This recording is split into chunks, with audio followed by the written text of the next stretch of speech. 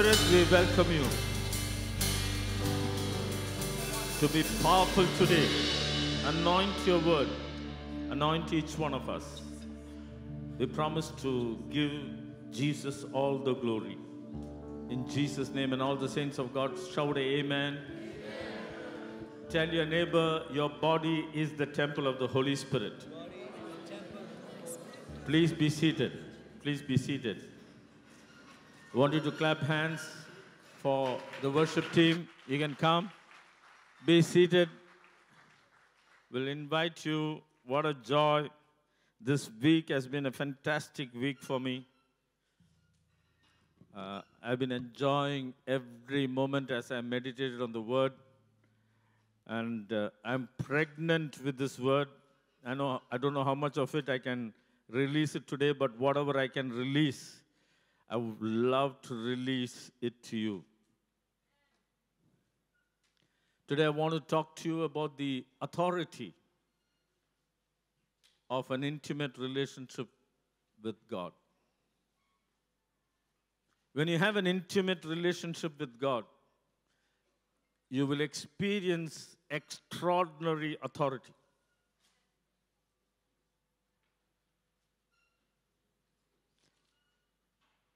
And I want you to understand the authority comes from relationship, not from rituals. The authority comes from relationship. And we are in an end time where church is facing difficulty. We have church without power. We have believers without power. So I want to encourage you that this message is been I've been preaching it to myself. And uh, what I'm going to share with you is something that God has been preaching to me as I was meditating on the word. And I want you to take the book of Revelations before I go into what we learned last week. I want you to take the book of Revelations, chapter 2. Revelations, chapter 2. And we're going to read from verse 18. So the angel of the church in Thyatira, right. These things says the Son of God, who has eyes like a flame of fire and his feet like fine brass. I know your works. Turn to somebody and say, I know your works. God is saying, I know your works. I know your love. I know your service. I know your faith and your patience. And as for your works, the last are more than the first.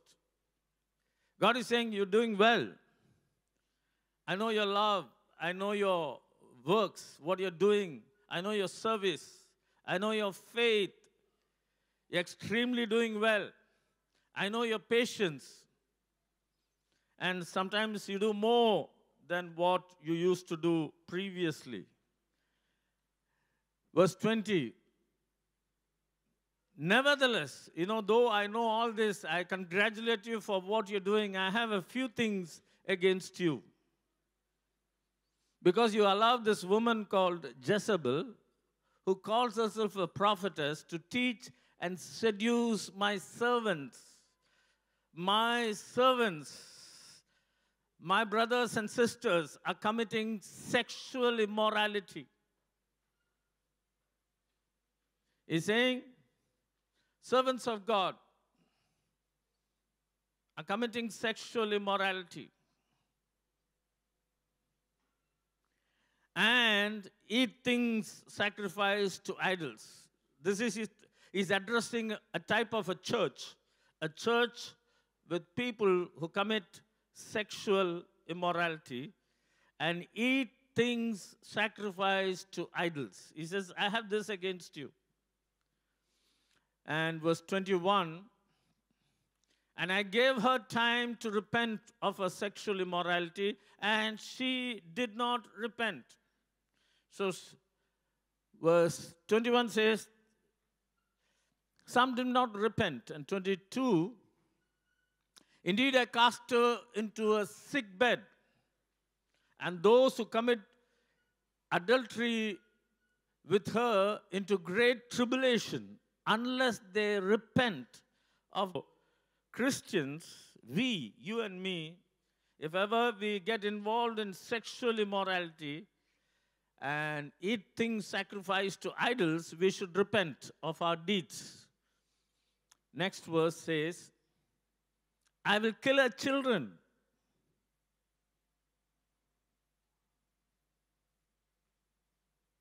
Serious. And all the churches shall know that I am he who searches the minds and the hearts. I will give to each one of you according to your works. But I like the next verse.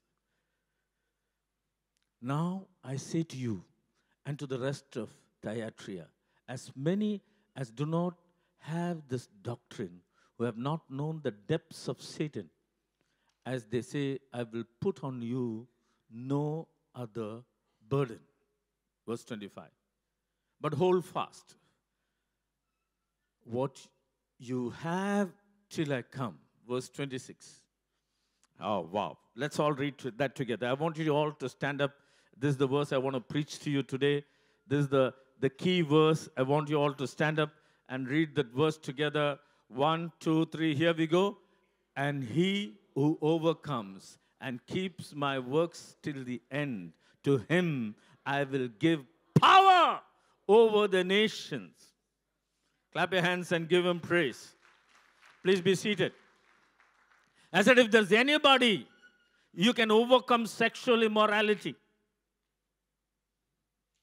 if you can overcome masturbation, if you can overcome pornography, if you can overcome all kind of adultery and fornication, if you can overcome sexual immorality, I will give you power means the church is weak today because it is down with sexual immorality.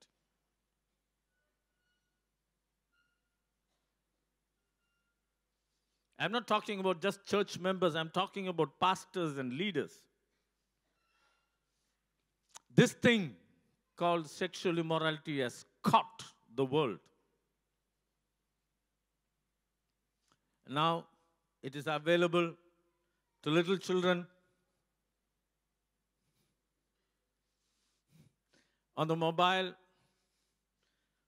on the, on the internet.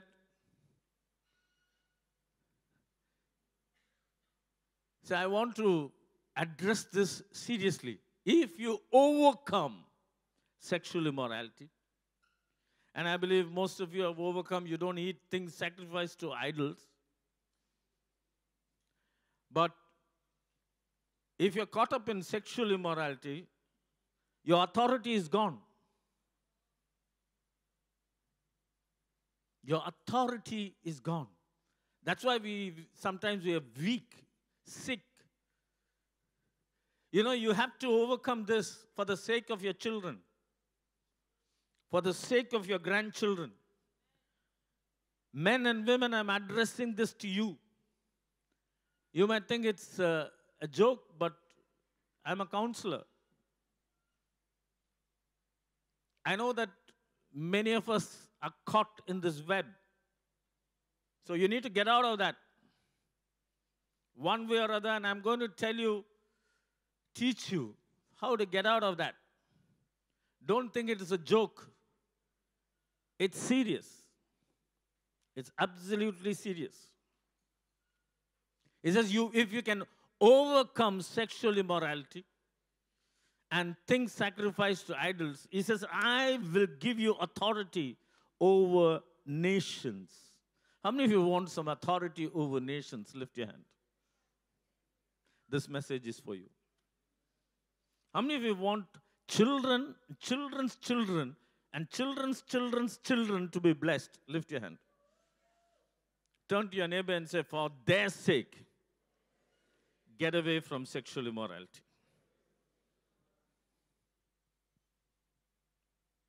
There's no other sin There's no other sin which is against your body. This particular sin is against your body. Of all the sins, there's only one sin which is against your body, which is actually very important to you. Turn to your neighbor and say, Your body is the temple of the Holy Spirit. One more time, say, Your body is the temple of the Holy Spirit. So let's turn to 1 Corinthians chapter 6.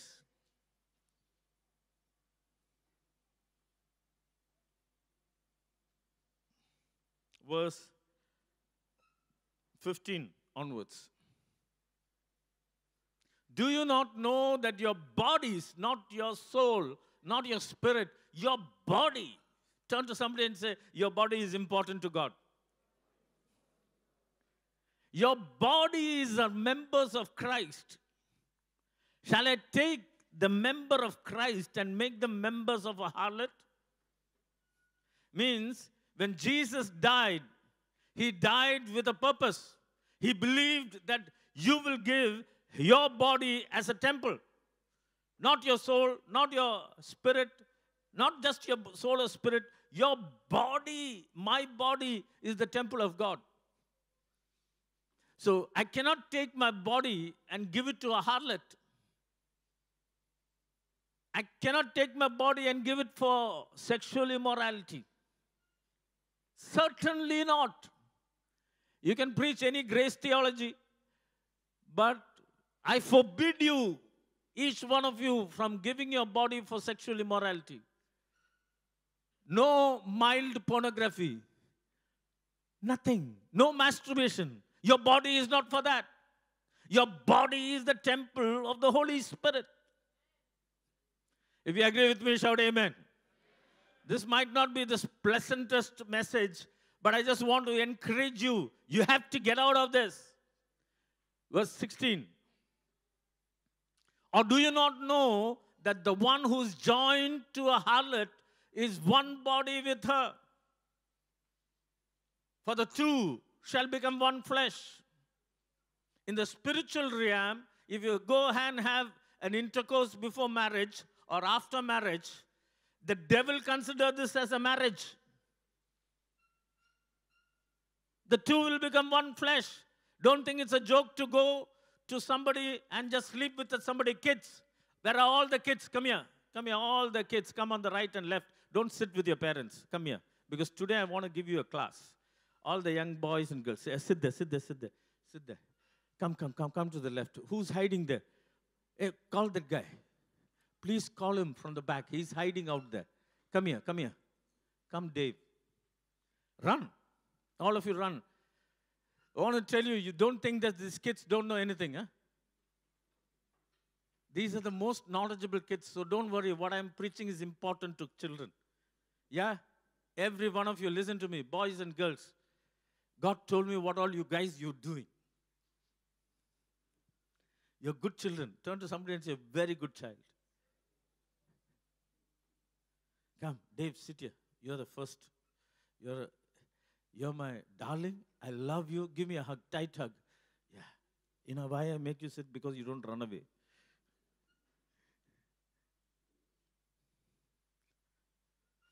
Children, I want to protect you. No sexual immorality.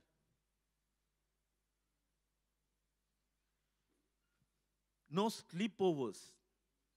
Parents, don't send any of, these children for sleepovers. No sleepover. Don't copy the world. You need to protect your children. You know, our body is the temple of the Holy Spirit. Our body. Next. But he is joined to the Lord, is one spirit with him.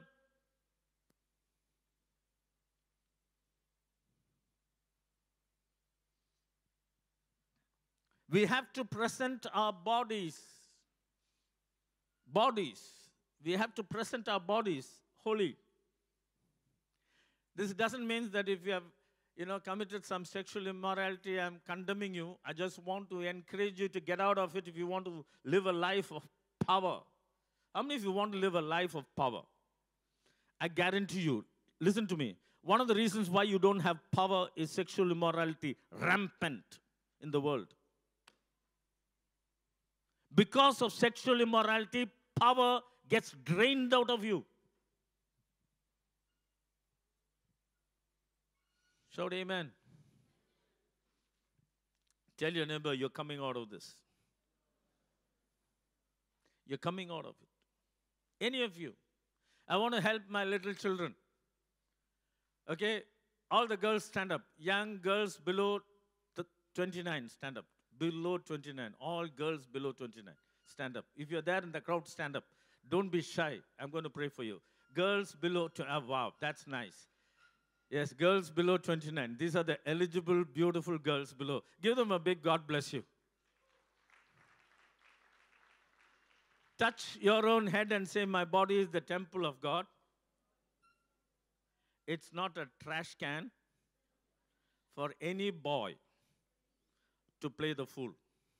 Yeah, say, My body. I didn't hear. Say loud. Is the temple of the Holy Spirit. It is not a trash can for any boy to play the fool. I forbid if anybody plays any fool with you, let me know. Let me know. Nobody touches your body. Is that okay? You protect your body. If your dad, mom haven't said, I'm telling you, none of you go for sleepovers. It's banned in this church. Banned. Boys, stand up. Girls, sit down. All the boys below 29, stand up. Oh, that's good. Keep your hand on your head and say, My body is the temple of the Holy Spirit, redeemed, cleansed, sanctified by the blood of Jesus. I will not give my body to any boy or girl to play the fool. In the name of Jesus, I surrender my body as the living sacrifice, holy, acceptable. In Jesus' name. Now clap your hands for yourself. Please be seated. Please be seated. So, God wants our body. Romans chapter 12. Romans chapter 12, verse 1. I want you to put the NLT version. NLT version. So turn to somebody and say, Dear brothers and sisters, I plead with you. Say, I beg you. I've washed your legs. I'm to give your bodies to God. You want to live a life of power, you have to give your body to God. Turn to somebody and say, Do you want power in your life? Supernatural power. You have to give your body. So important that you give your body. You want to live in power and authority. You have to give your body to God. For all he has done, he died in his body. Nobody could kill his spirit. Nobody could kill his soul. They killed him in his body. So he wants you to give his body. It's not easy. When I used to sit and smoke 40 cigarettes a day, it was not easy to give up smoking.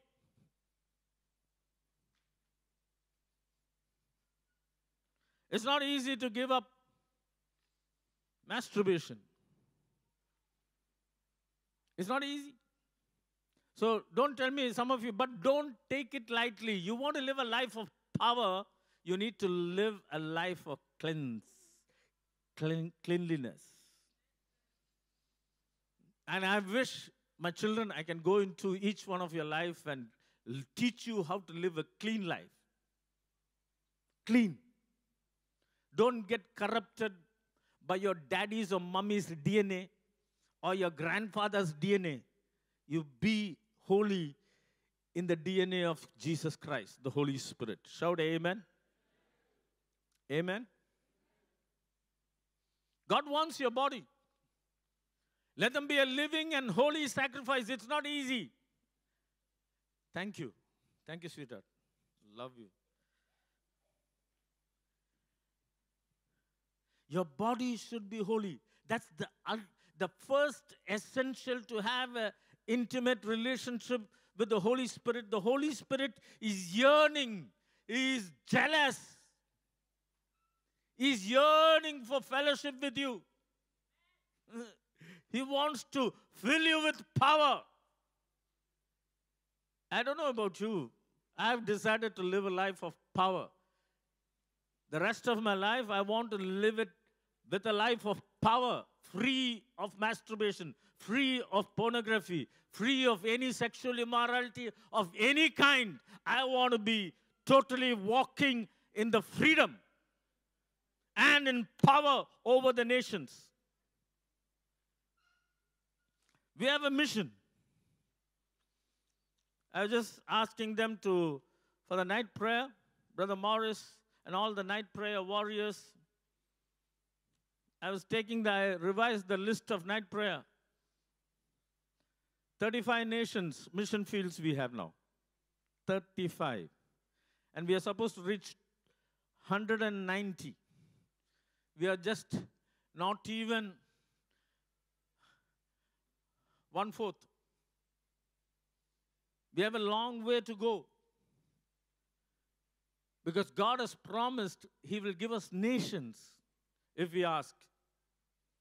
If we ask, God will give you nations. But one thing, you need to overcome these temptations, overcome sexual immorality. Because if you indulge in that, that will drain you. Shout amen. Intimacy. Everybody say intimacy. So, just a little bit for those who didn't come. How many of you didn't come last week? Just wave your hands last week. I just want to give you a small five minute introduction. Life of intimacy is all about self revelation.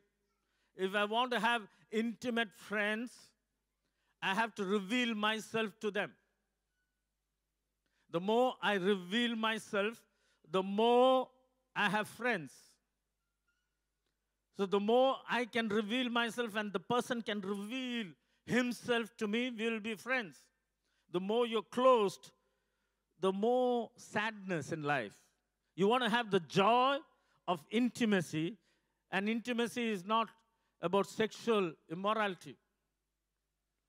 That is the lowest level of intimacy is physical intimacy. John 17, 3, and this is eternal life. John 17, 3 NLT version. And this is the way to have eternal life, to know you, the only true God. So knowing Him, explicitly, intimately knowing God, having an intimate relationship with God is eternal life.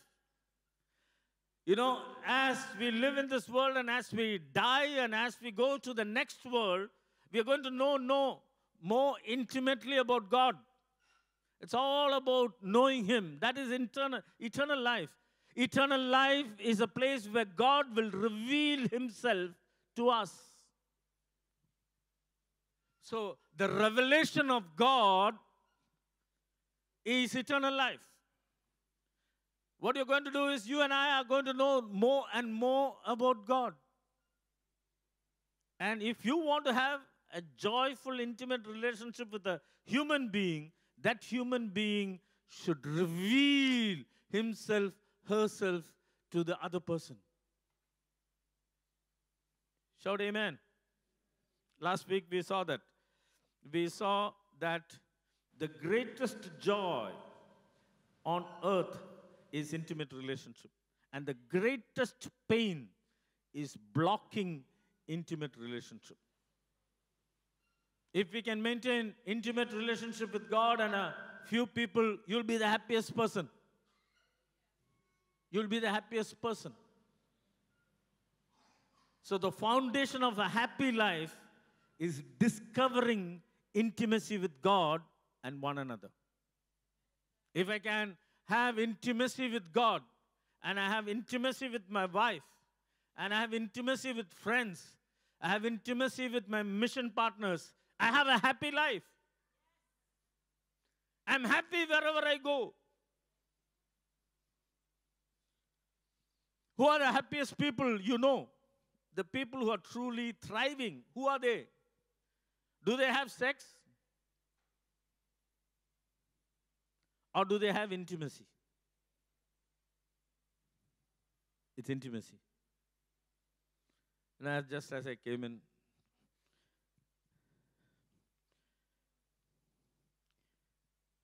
somebody hugged me. Not somebody, Reshma came and hugged me and said, Uncle, come home. I said, I'm coming home. Just to spend one or two hours with Reshma and Riju and the entire family intimately. It's going to be a lot of fun.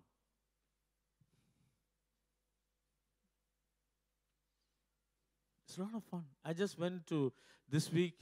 Uh, I don't know whether he's here. Uh, this week I went to the house of uh, Amar. Amar, you're here? Amar is not there. Amar and his wife and children. Wow, what a time. We didn't have dinner. We didn't have anything. Just spent intimate two, two and a half hours with them as a family. And that was beautiful. We were crying. I was crying. She's crying. We're all crying.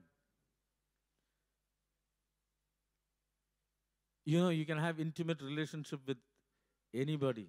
I was going on the plane 14 hours with Ashna, and I had an intimate relationship with Ashna.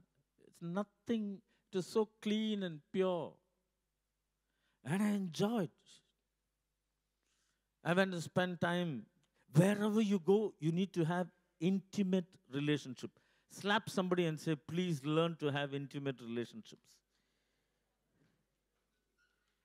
One more time, say, learn to have intimate relationship. You know, you can be a husband and wife and sleep in the same bedroom without intimacy. You see each other, but when you see, you bite each other. Ow!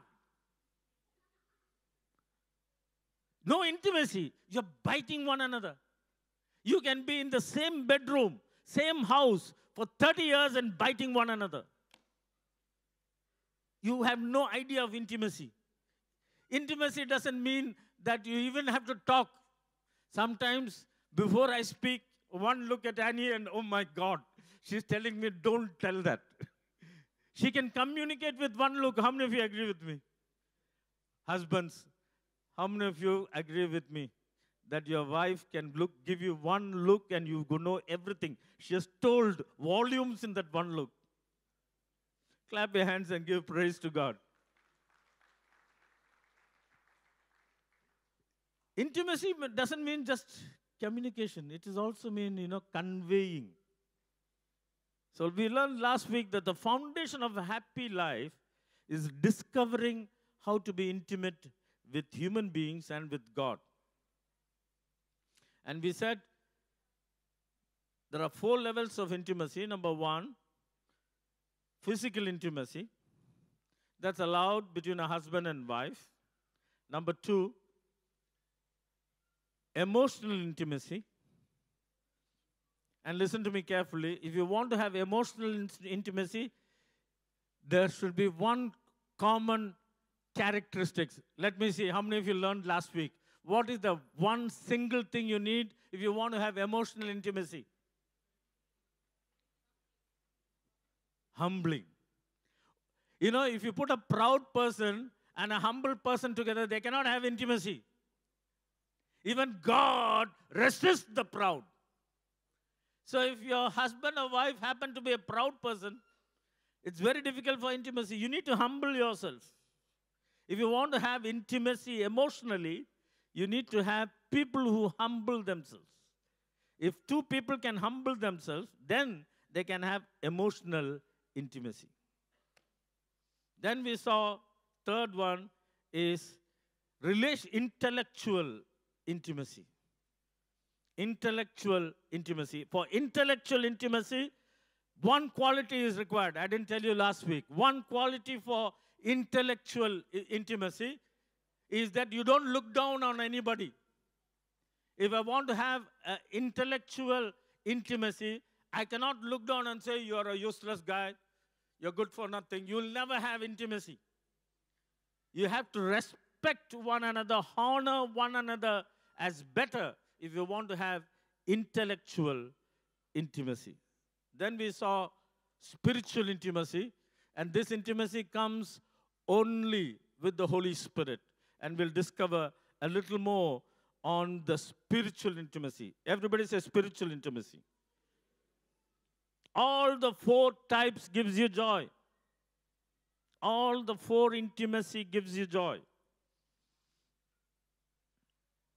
And in spiritual intimacy, we have common vision, shared values, virtues that are shared very much with the Holy Spirit. We saw last week God is all about relationship. God is all about relationship.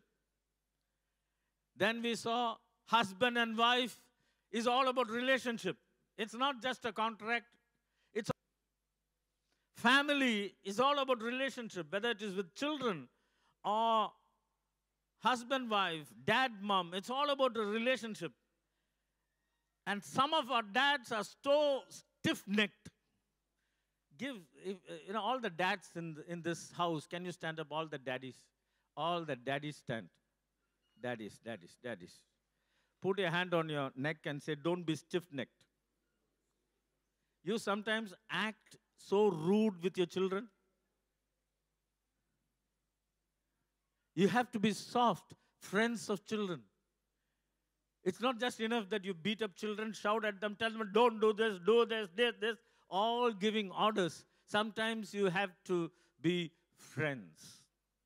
Come here, Emmanuel. Sometimes, okay, it's okay, you come. Sometimes you have to hug your children and say, Pastor, I should have met you three days back, I'm sorry. you know, sometimes dads have to ask their sons sorry. You understand? This is a genuine asking. I was supposed to meet him three days back. I didn't meet him. So there's nothing wrong in a father asking a son sorry. Put down your pride and ask. Amen.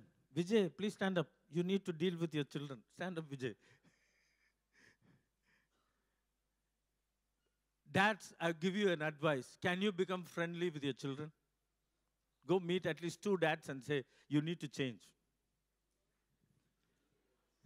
Meet, meet some dad behind you and say, You need to change. And you have to become friendly with your children. Please be seated. Please be seated.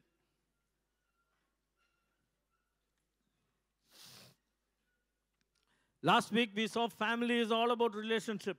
Ministry is all about relationship. Church is all about relationship.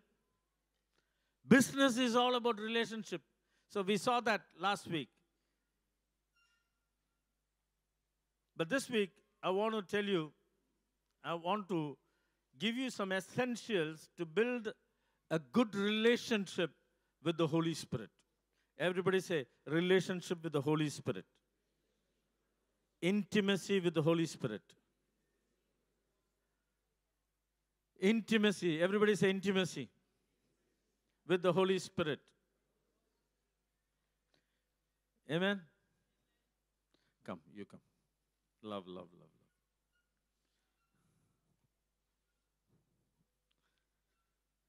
So you're going to, one day you're walking okay? And as you're walking alone, a little girl was walking alone. Who, who's ready to act like a dog? Come, come, come. Come, come, come. Run, run, run. Bark at her. Bark, bark, bark, bark. Oh! Run, run, run, run for your life.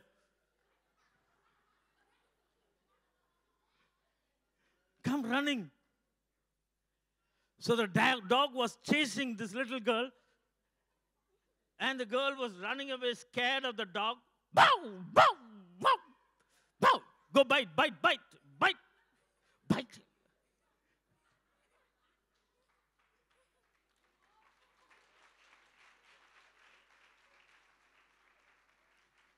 So the girl, the dog was about to bite the girl, but the girl came to her daddy.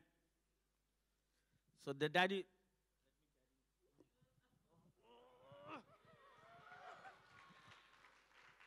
So the daddy carried the girl.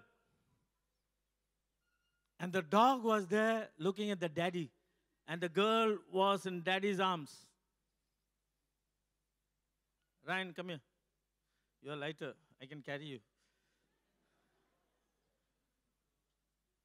Can I carry you?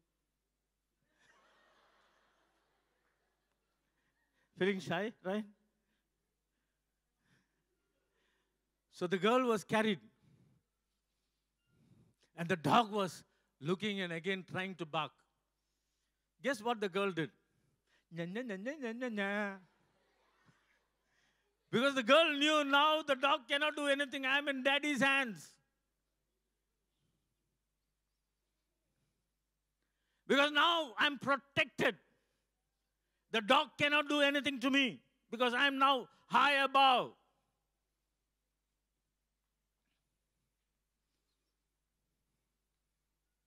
The equation has changed.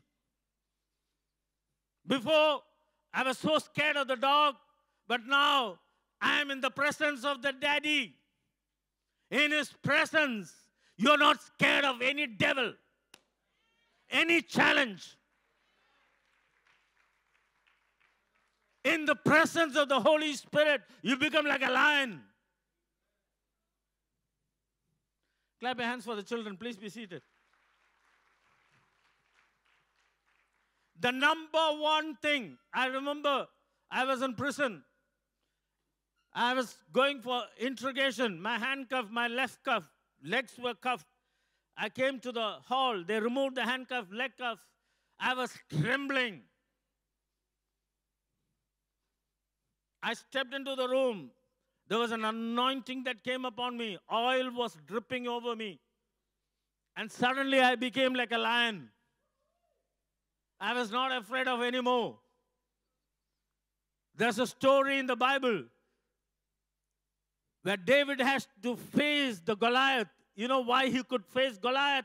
Because of the presence of God. He said, Who are you, you uncircumcised Philistine? You know who I come? I come in the name of the Lord of hosts. Turn to somebody and say, When God is with you, you're not scared of any challenge. Clap your hands and give praise to God.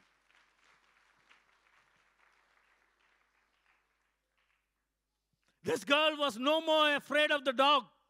She was no more afraid of the circumstances. If you have fear, it means you don't have intimacy with the Holy Spirit.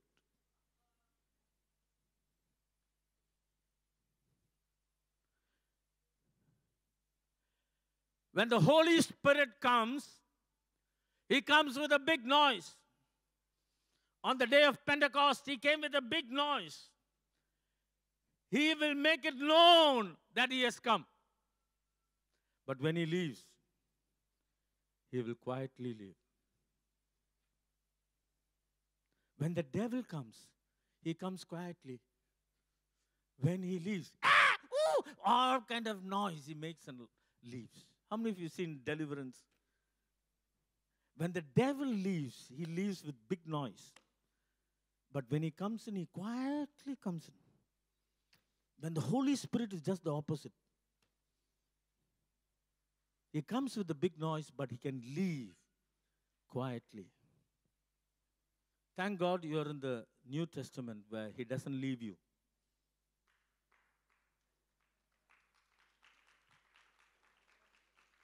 But he can be grieved. And tell you one of the things that grieves the Holy Spirit is sexual immorality. It grieves. He's with you. Don't think when you're, He's not there, He's aware of what you're doing. Lift up your hand and say, God's presence gives me spiritual authority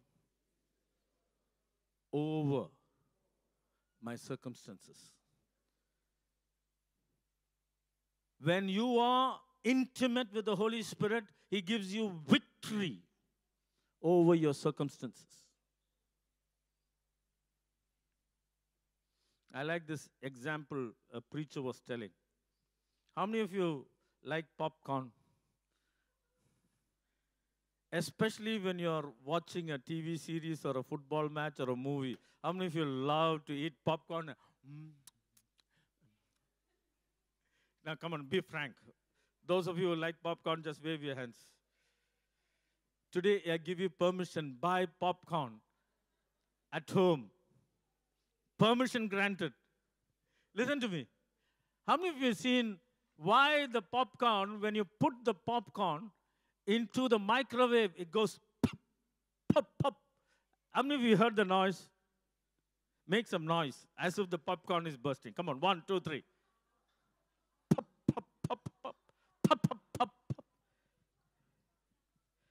Ask your neighbor, why does the popcorn make noise? I tell you, every kernel of popcorn has got moisture inside. And when you put it into the microwave, this moisture becomes steam. And this moisture increases. And as the moisture increases, it's pressure from inside. As the pressure from inside, the shell gives way. Pop!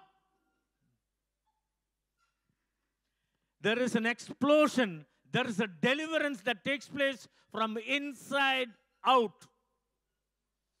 Inside explosion gives outside experience. If you're controlled, if you're filled with the Holy Spirit inside of you, there will be some outward manifestation of God's power. Clap your hands and give Him praise.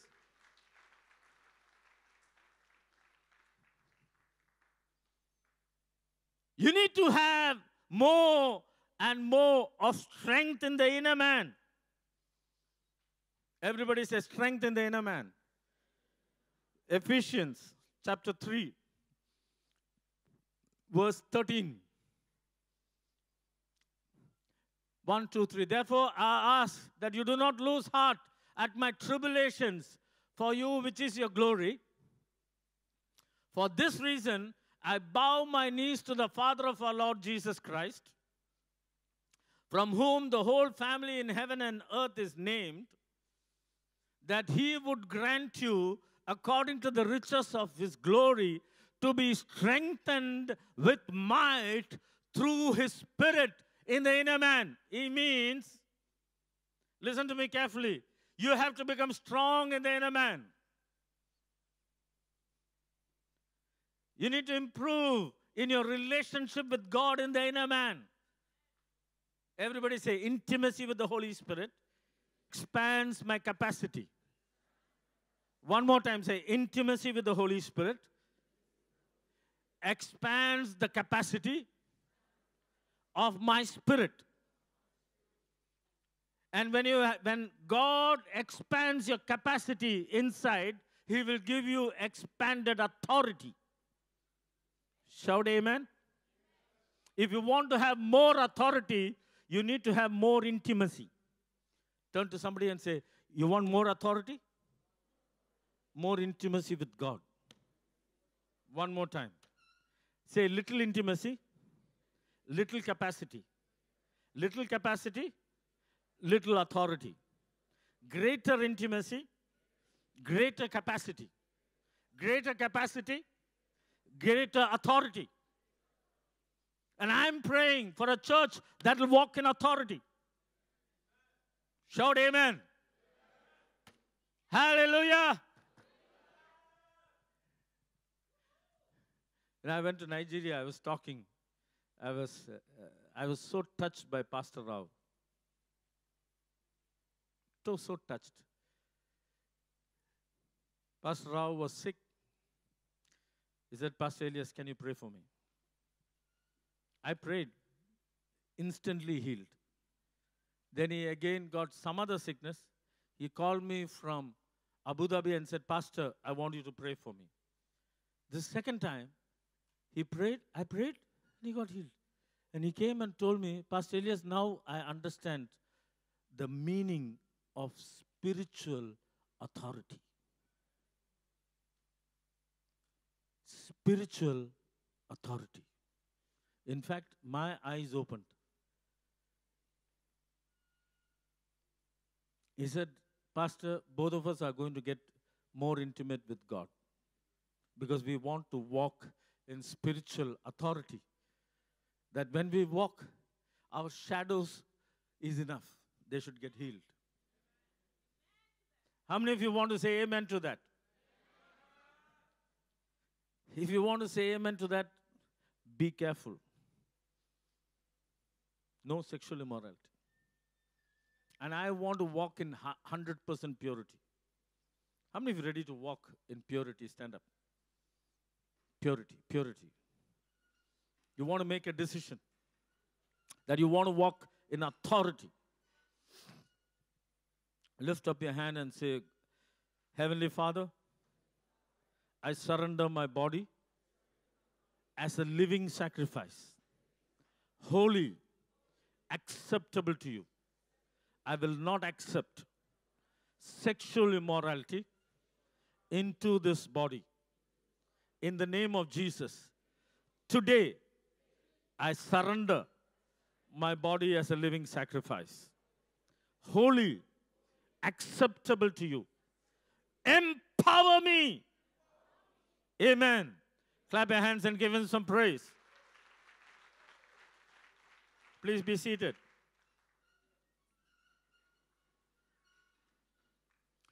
There are three part reality of our lives.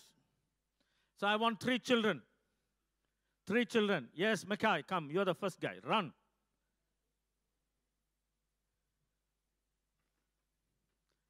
Part one. Stand up, stand up. Don't be lazy. Stand up. Who's number two? Come, come. Run. What's your name? Angel. Angel. Wow. Who's three? Number three. Anybody number three? Number three. Yeah, come. What's your name? Mahima. Mahima. Okay. Number one, the spirit. Number two, the soul. Number three. So there is a three part reality in our life. You know what is the primary purpose of the spirit? Pastor Don, please come. This is Pastor Don, Pastor Robert, and Pastor Mar- uh, Mario. Please come. Face him. The primary job of the Spirit is to communicate with the Holy Spirit.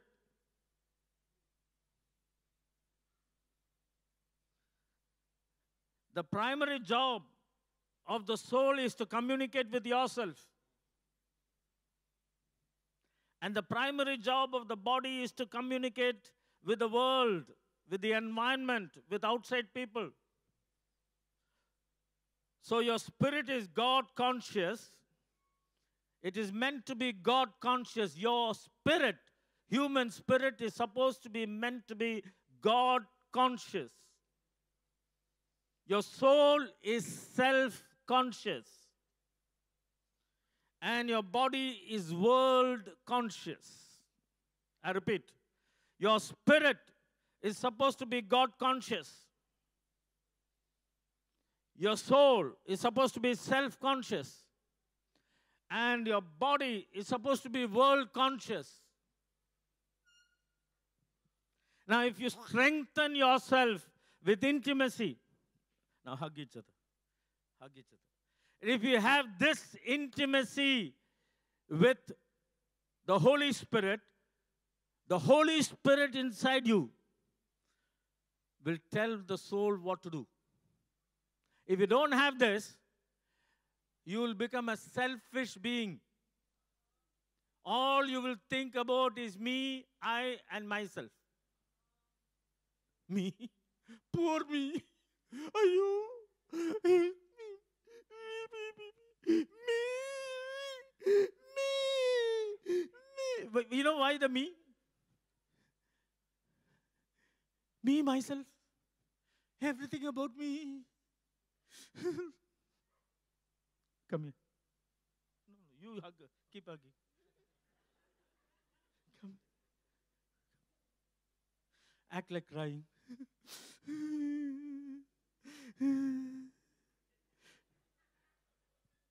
you know, if your spirit is not God conscious and not communicating well with God, you'll become a self pity, pity, pity party, pity, pity, me and me, me, me, me, me, me. So when I see, if that, if I see that in you, it means you're not having a connection with God.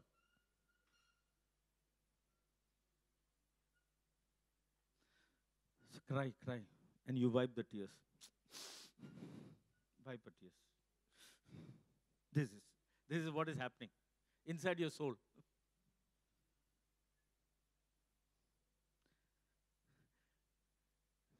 Now, if you are a completely fleshly person, world, oh, Pastor Mario, you're wearing lipstick.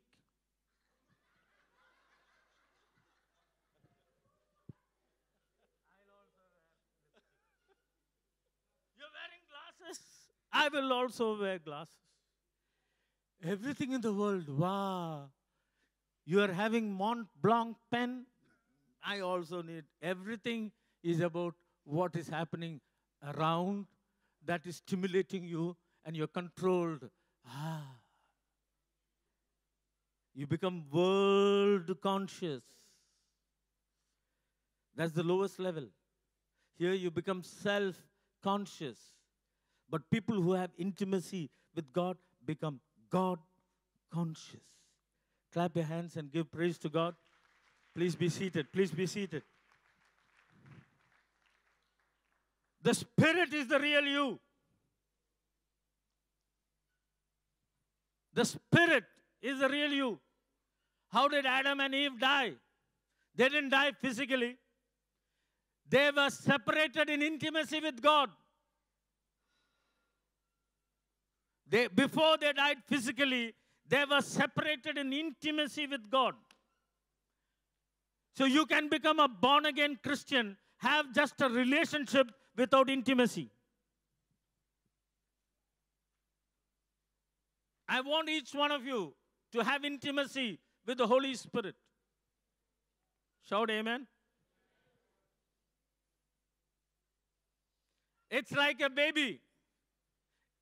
Anybody pregnant here? Anoria, come here. You look pregnant at least. Come here, come here, come here, come, come. come. I prophesy, may you become pregnant. Clap your hands if you agree with me.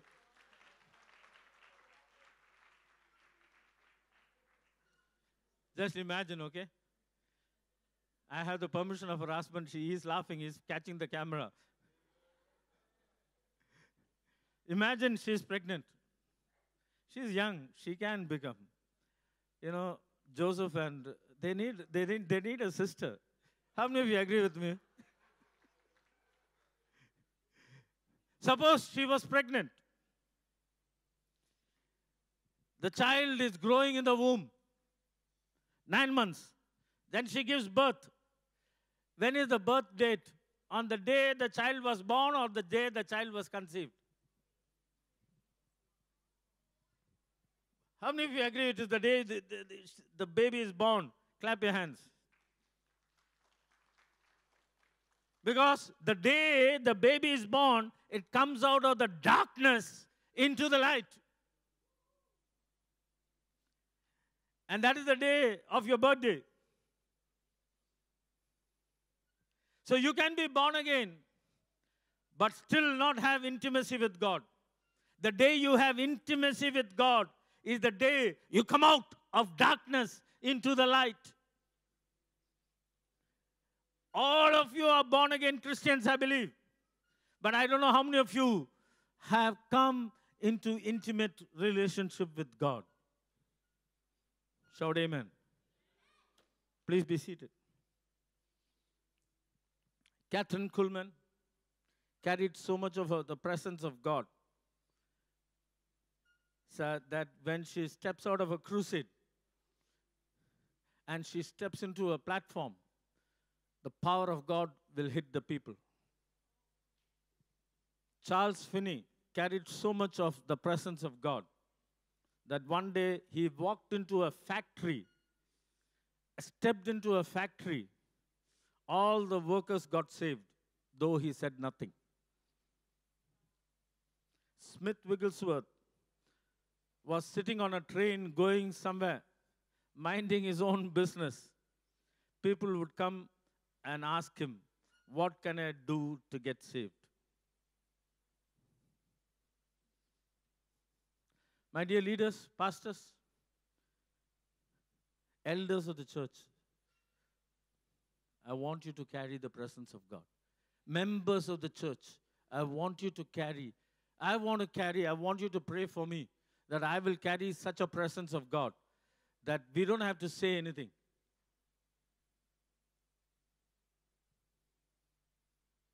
Lift up your hand and say, Take me to that place. John 14, 16, and 17. Let's all read this. And I will pray the Father, and he will give you one minute. It means if 2000 years back, 2000 years back, you are the disciple, and Jesus walked with you, you're Thomas, and Jesus walked with you, maybe you're Peter. Jesus walked with you for three and a half years.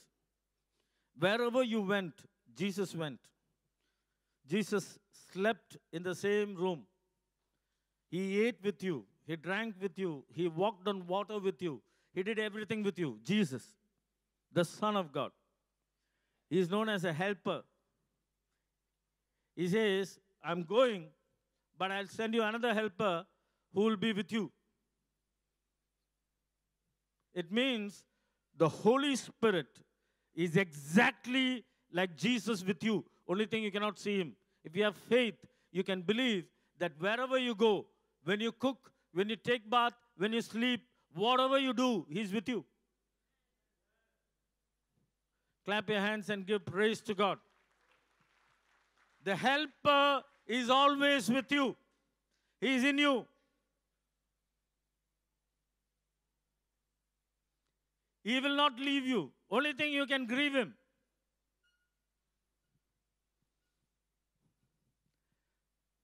How many of you want to restore your relationship with the Holy Spirit?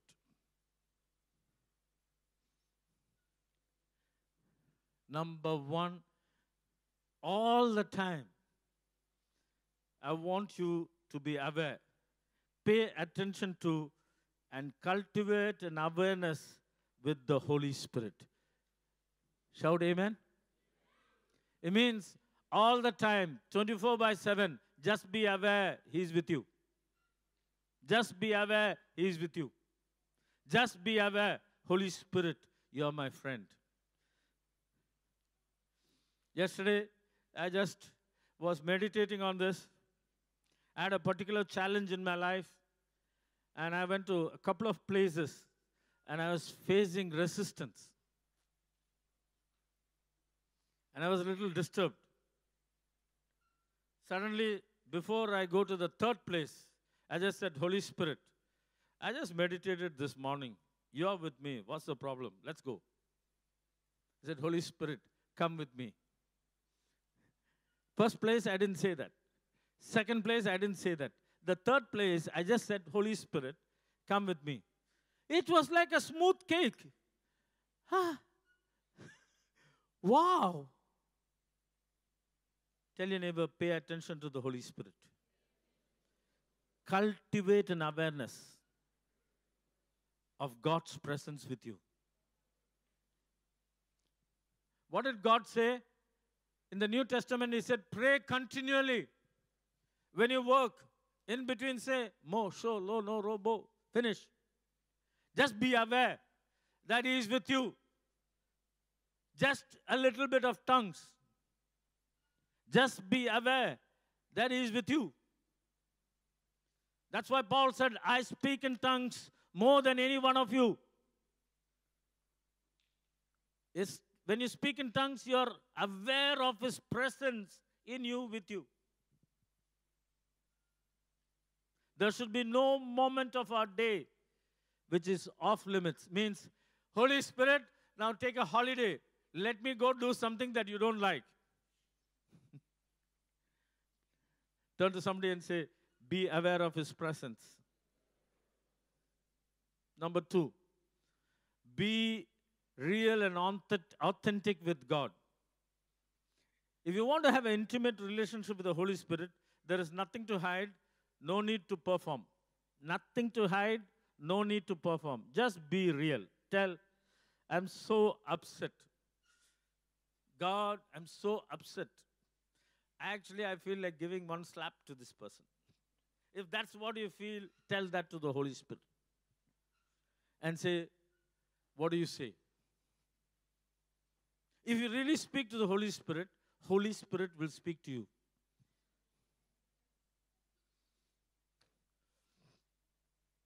If I want to have an intimate relationship with Annie, imagine I come back from work, I will go to the computer, put on Fox News, listen to, she'll tell me, come to the kitchen, come here, come here. I'm cooking here, I want to talk to you. Yes or no? Because it isn't. You spend the whole day outside. What are you doing with your computer? Come here, come to the kitchen, sit and talk to me. Turn to your neighbor and say, Talk to the Holy Spirit. Morning, afternoon, night, you have a conversation. Shout amen. Be real and authentic with God. Don't bluff God. He already knows. So be real and authentic with God. You can't go to your wife and say,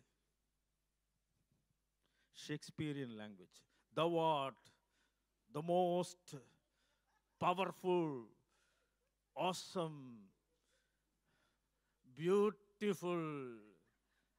And then I say a poem of Shakespeare, Poda. Come here, what's wrong with you? Come be real. Hey, come here. you have to be real with people. Say, turn to somebody and say, slap that person and say, be real with the Holy Spirit. Be real with the Holy Spirit. Lord, I just goofed up.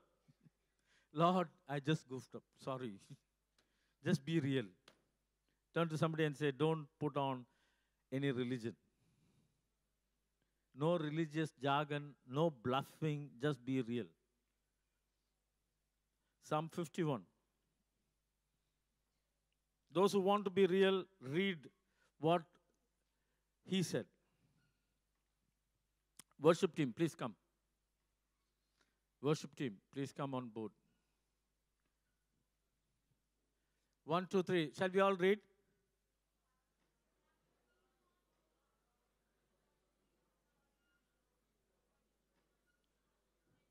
One minute, one minute. How many of you, whenever you go truly to the Holy Spirit, you feel, Lord, have mercy on me, Lord? Only those people lift your hand. When we go to God, if we go to God, if we go to God, there's no other way to go to God. I don't see any way to go to God and say, God, I have been a superstar. Poda. You say to God, you go to God and say, God, I messed it up. You humble yourself. You can never, if you're sitting in the presence of God, you cannot come out unless you humbled yourself. How do I know? My wife has been in the presence of God. When she comes out, she'll say, She's very nice to me. That I know she really prayed. If she comes to me and says, "Bah," I said, You didn't pray, you just sat there. You must have watched some cooking YouTube. Because if you're in presence of God, you'll come out of very humble and nice. So don't bluff me. You know, if you go into the presence of God, you'll shake hands with your mother-in-law. Not only your mom. please, please, come, come, come, come. Next verse. Wash me thoroughly. This is very, very beautiful. You know something? I found out so many sins in me which is carried over from my dad. Same kind of pattern I'm, I'm finding myself. What people used to talk about my dad is what I find in myself. That's iniquity. Wash me thoroughly from my iniquity. Cleanse me from my sin. Next. I acknowledge you have to take responsibility for your sins. Stop blaming others and take responsibility for your sins.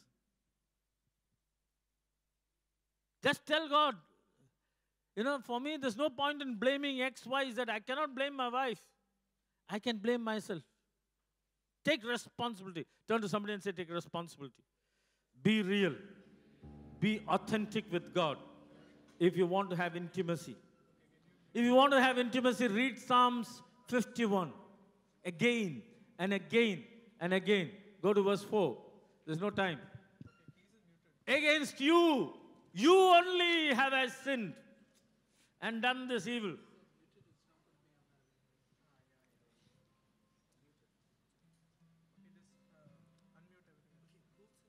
If I cannot love Don, it's not Don's problem. It's my problem with God. I am compelled to love you. I have no other option. If I cannot love you, it's not your problem. It's my relationship problem with my God. If you cannot love somebody, there's a problem. You have uh, you don't have intimacy with God. That's why you cannot love somebody. If you have intimacy with God, you can love everybody. Because God is love. His love will rub on to you.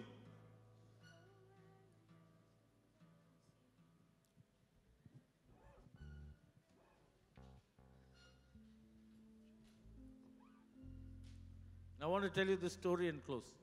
How many of you know the story of Mary and Martha? Okay, here we go. Mary, Eden, come. Mary, come here. Rachel, come here. Martha, come here. Mary and Martha.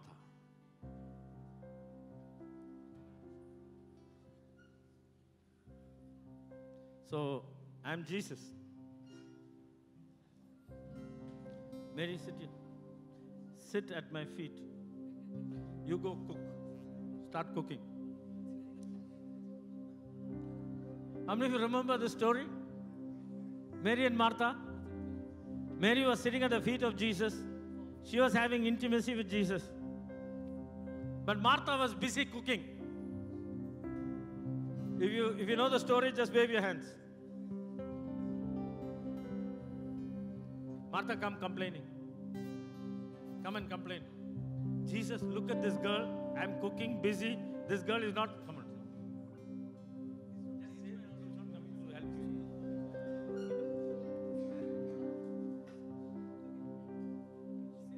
But Mary has chosen the good part.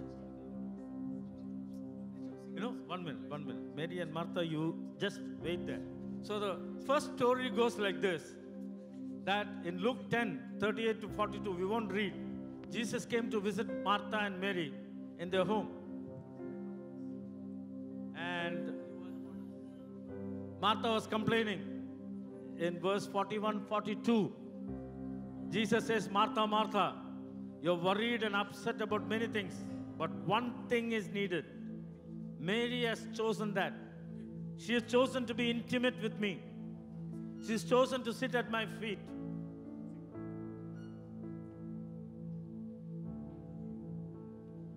You know, your relationship with God is more important than your ministry.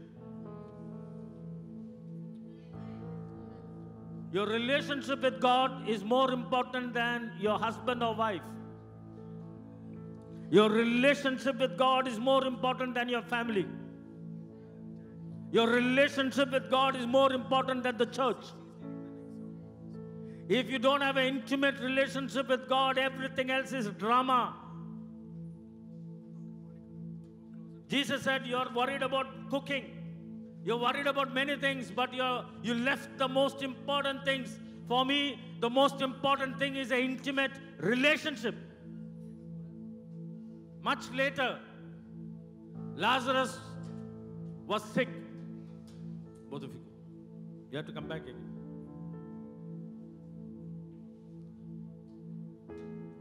I love this. Turn your Bibles to John chapter 11. Mary and Martha's story continues. I want to give you one particular point, one revelation from here.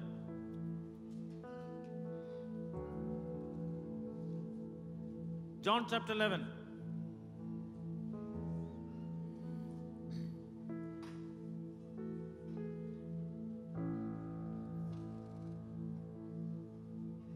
Verse 5. John 11, verse 5. Everybody read.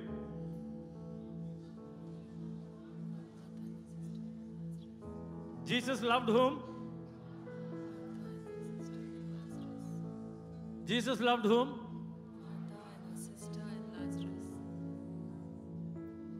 So Jesus loved Martha, Jesus loved Mary, Jesus loved Lazarus. So, verse 6 So, when he heard that he was sick, he stayed two days more in the place where he was.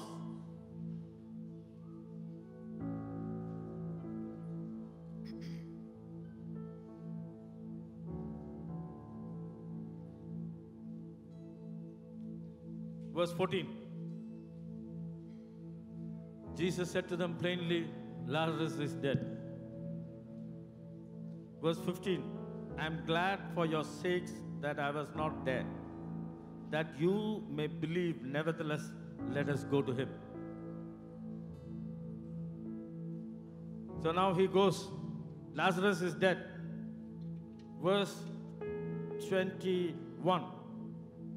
Martha, come, come, come. Martha, Martha, come. No, no, no, that's Mary. You are Martha. Come here, Rachel, come.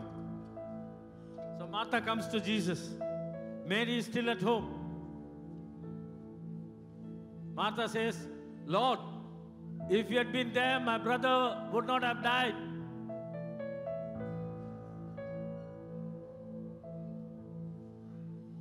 If you are there, my brother would not have died. So the Bible says in verse 25, Jesus said to her, I am the resurrection, I am the life. He believes in me, though he may die, he will live. She couldn't understand because she was busy cooking. She didn't understand. Said, I am the life. Little later, verse 32.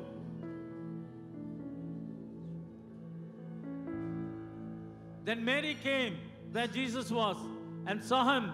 She fell down at his feet, saying to him, Lord, if you had been there, my brother would not have died. Now, Martha, please be. Mary, come. Run. Run, Mary. No, no, Martha, don't run away. Please, please, please.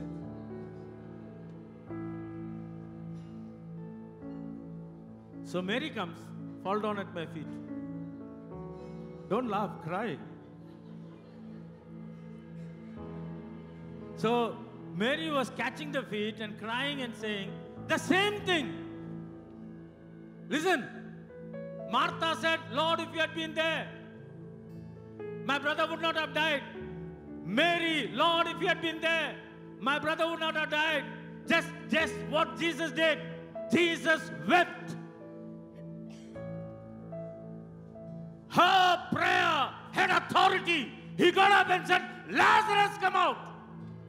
When you're intimate with God, you have authority.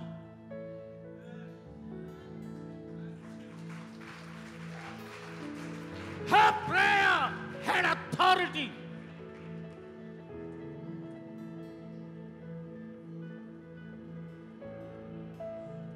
When you are intimate with God, your prayer will have power.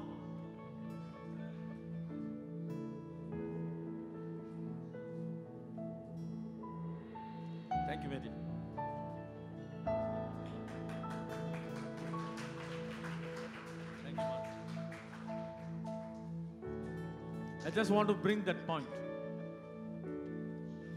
There is authority not just over circumstances, over death, over sickness, over the nations when you're intimate with God. And my prayer is that each one of us, including me, will become intimate with God. Above ministry, above our relationship, uh, above everything else, is our intimacy with the Holy Spirit. Create in me a clean heart. Shall we all stand up?